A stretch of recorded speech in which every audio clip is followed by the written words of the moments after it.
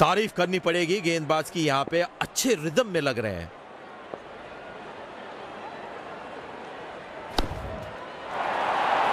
कमाल की बल्लेबाजी, खूबसूरत शॉट